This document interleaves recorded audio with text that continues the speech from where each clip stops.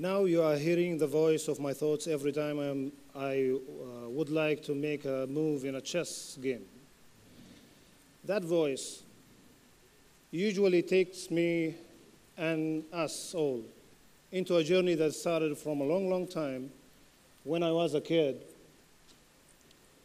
I was playing with the chess pieces every time.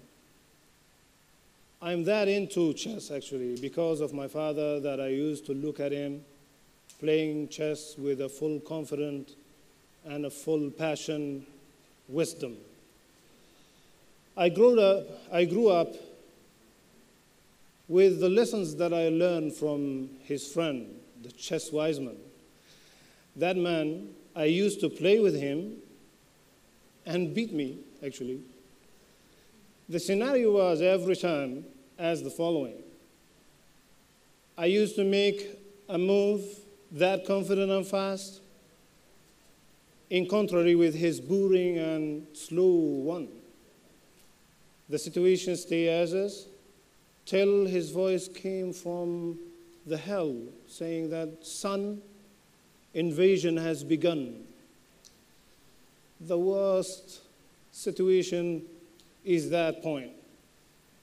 When my pieces were kicked out one after another, and in no time I have been defeated. I couldn't stop thinking about what really happened in that moment. Is that because of my openings, tactics, or the 007 opponent that I'm playing with? The thoughts keep rushing through my head till I found this, this, all the answers that I need, which after a while become an activity that I used to share with my friends and with my students that I used to share with them all the lessons I learned in chess. The activity normally started when I uh, used to give a piece of chess for everyone in the room one for each. Uh, the majority, I used to give them a pawn, which is the lowest value of the chess. And the rest, I used to give them rooks, knights, bishops, which has better values actually. Then I asked them, if someone said to you that your value is equal to the value of the piece of chess that you hold in your hand, what would you think? The pawn guys got angry. Why we have no value? Others feeling that confident uh, with a sneaky smiles.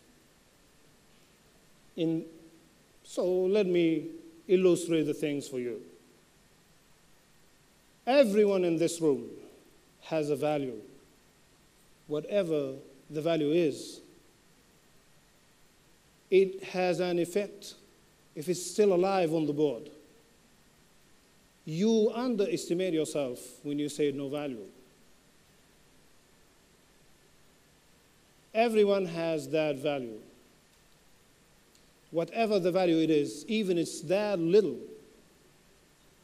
if it will be replaced on the chessboard, it can change the course of the game, and definitely it will. So, no openings without you, pawn. No tactics without you. Nothing without you. No life without you. So it becomes a matter of just holding that value, whatever it is, whatever, and stand out there, looking after, looking for all the problems and obstacles that you face in this life and you will. Then you will make a move, your first move. That move, with a good planning and forethought, you will keep stepping forward. One step after another, overcoming all the obstacles that you will face till you reach the end. When you reach that point, you will surprisingly realize that all these obstacles were life experience that reshaping you to become what you wanted to be and even better. Now I can remember the sneaky smiles. Don't overestimate yourself. Your value, if it's overestimated, it will put you in a, a big trouble. Every one of us created with weaknesses. If you ignore it,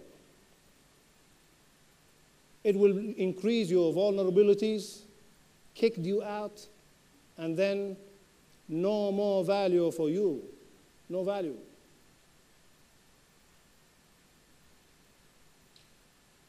So you need, in life, as in chess, you need to look around you and to find someone who can protect you and cover your back. In chess, I learned that a pawn and a bishop, when they stand side by side, they will create unbreakable link.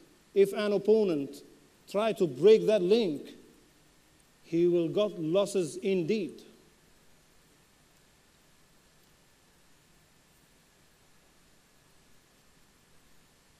So in chess, the board is, is the land that we are standing on. You will find the people who will protect you on that land. Those people will share you a big dream. That big dream that we all sharing in chess is represented as a king all the pieces are trying to protect him, pursuing him. So I'm not that much agree with the philosopher who usually who said once that I hate chess because of the idea that everyone in everybody in the game are dying for the king to live. It's not all about that. It's about it's never about the king. It's about the goals, the dreams, things that we are sharing together. It's not about the king. I know that every one of us having his own dream. But be sure, your dream, if it's in, if it integrated with others, it will draw a wonderful, fabulous big dream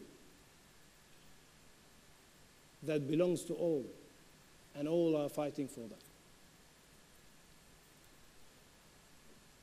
The last thing I would like, the last thing when a game ended, we all returning for the same box. That box will become an evidence to show us what we already did, what, what we already do on the board. Everyone do his best, whatever the value is. He did something out there. And the last thing I would like to share with you actually is a message for all our kings, men, I want to whisper this. Remember that the strongest person in this life who can protect you and take care of you is a queen. Try to find one if you don't have to. If you don't want to have one. If you have, if you have one, be that close. Stay that close to your queen. She's the one who will protect you. And for our queens, ladies,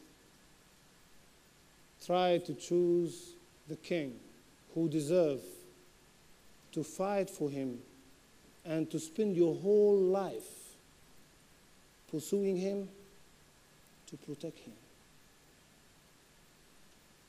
It's not just a game. It's all about your value and who you really are. And how to participate with all other people in drawing that fabulous big dream. Invasion has begun, son. Checkmate. Thank you.